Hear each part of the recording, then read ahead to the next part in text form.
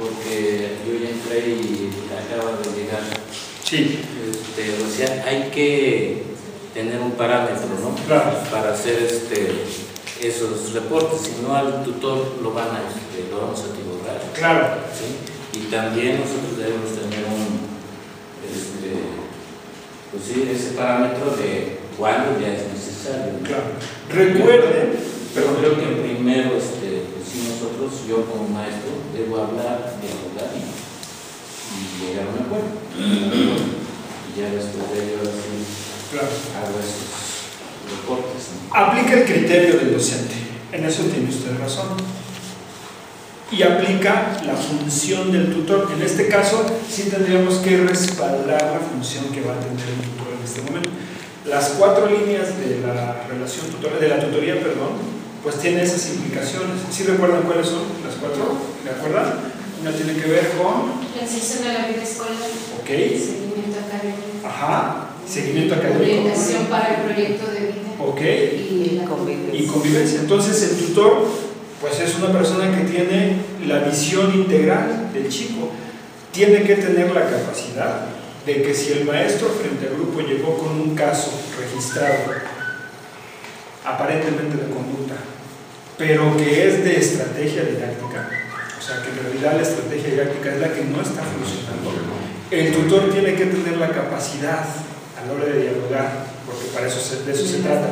Oiga, profe, compañero, amigo, este, chequemos bien, ¿no?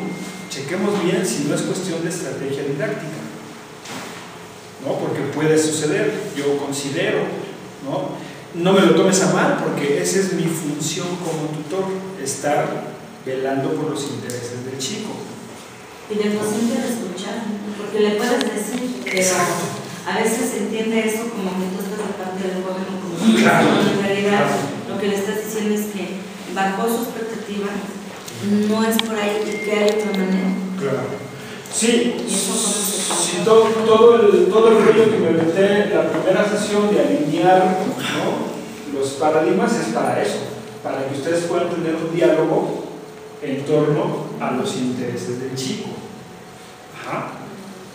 Y que si esto se comprueba y que el chico y producto de su contexto exterior, familia, amigos, etcétera, si está yéndose por otro lado, bueno, pues también entonces que no me culpen, ¿no? O sea, yo hago todo lo que está de mi parte, pero llega un momento en donde el chico, ya descubrimos que no es cuestión de estrategia didáctica, es cuestión, es cuestión de, de, ¿no? de valores, cuestión de relaciones con sus papás, familiares, economía.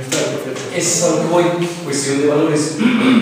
Cuando llega él, sin esperar tres o cuatro veces que haya cometido ciertas faltas con diferentes maestros, si a la primera, por ejemplo, es falta de respeto hacia el maestro o la maestra, pues ya, ya ya es la falta de valores.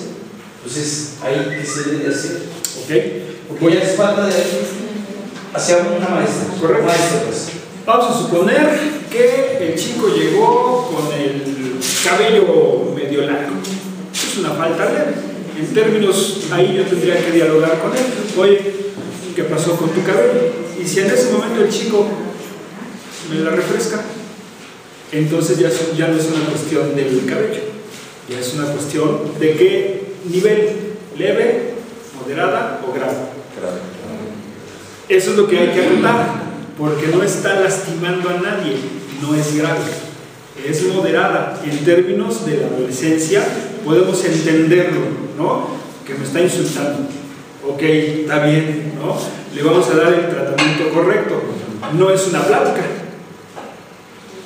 Las moderadas van directamente este, en un- bueno, en, un- en una primera sesión no conmigo. O sea, si en ese momento me la refrescaste, yo en ese momento no hablo contigo. Me apego al protocolo y dice que vamos con el tutor. ¿Sabes qué? Mira, aquí este chiquito, solo porque le dije del cabello, me la refrescó. ¿no? Entonces el tutor ahí interviene, ok, tenemos la plática contigo, mira, esto no debe de ser así, bla, bla, bla, en términos del protocolo, se registra y, este, y entonces pues no lo, no lo vuelvas a hacer. En términos de la adolescencia, lo que él necesita es una orientación, ¿no? la unidad de asuntos jurídicos nos lo va a tomar a bien. Ah, ok, tú hiciste lo que te corresponde, ¿no? Orientaste al chico, le hiciste ver. Si en ese momento el chico, aparte de que me la mienta, me patea, entonces sí es grave. Y entonces vamos directo con sus papás, ¿no? Directo con sus papás. ¿Sí me explico? Hay que ir viendo cómo evoluciona o cómo se desarrolla el fenómeno para que nosotros estemos dándole tratamiento pedagógico y que legalmente todo esté a mi favor. ¿Sí me explico?